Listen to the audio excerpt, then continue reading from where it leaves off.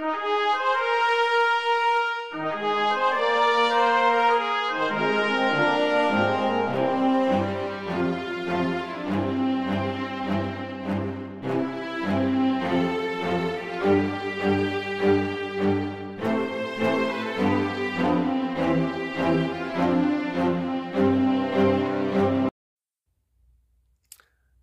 Shalom and good day, all. This is Tehillim29 back again for another DC review. And in this DC review, I'll be covering Mark Waid's Batman Superman World's Finest issue 17 and Superboy Man of Tomorrow by Porter.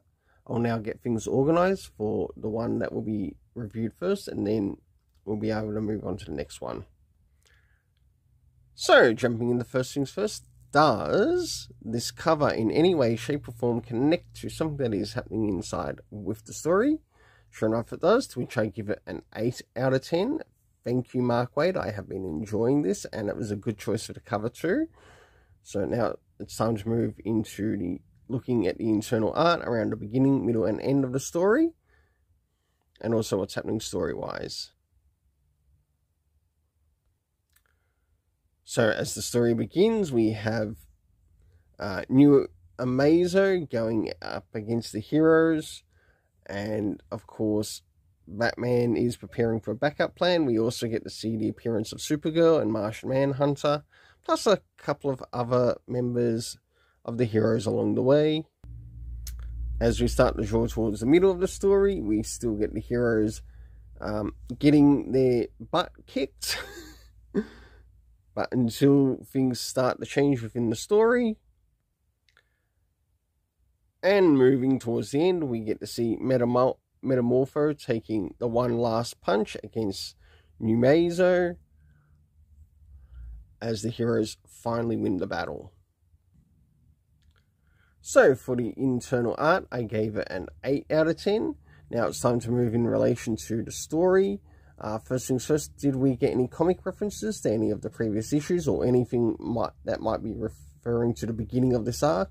Not at all. Uh, next is the area of time. Um, not applied in the story, though it probably wouldn't hurt to include it.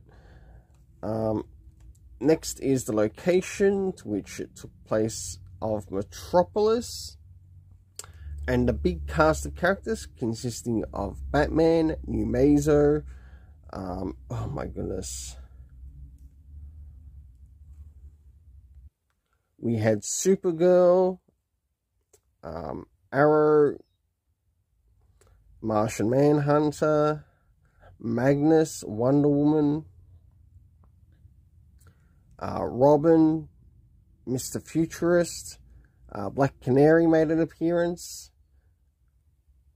We had Plastic Man, the Green Lantern, made an appearance. Shazam, uh, Red Tornado, Superman, Flash, Metamorpho, and last but not least, Jimmy Olsen. There were a whole big amount of characters too um, in one particular page, but I didn't know who most of them were. I knew some of them, but not all of them, but it would have been nice to see um, their titles on them, um, just so for new readers, they know who they are. But overall, I have really enjoyed this story, to which I give it an 8 out of 10. Now it's time to move into Superboy, Man of Tomorrow. So as we move into Superboy, Man of Tomorrow by Porter, starting off with first things first, does this cover in any way, shape or form connect to something that is happening inside of the story? In some essence, yes, to which I give it a 7 out of 10. Now it's time to move into the internal art, which we'll have a look around beginning, middle, and end, and also what's happening story-wise. So as the story begins, we get to see Trav and Connor Kent, Superboy, going up against one of the Dominators uh, by the appearance of things, and there's a bit of a fight that takes place.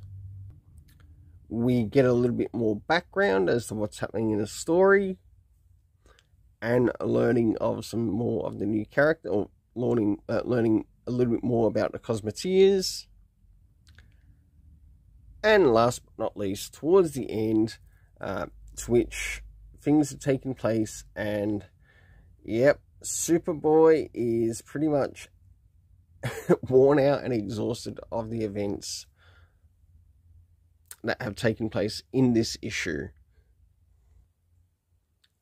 So for the internal art, I give it a 7.5 as I actually quite enjoyed it and it is staying quite consistent.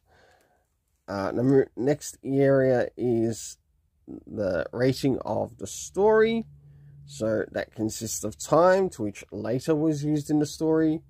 Uh, we had quite a number of locations take place, uh, including a number of the locations that have taken place in some of the previous issues. Uh, we had planet Zolgar uh, Zolgoria, uh, the Cedar, uh,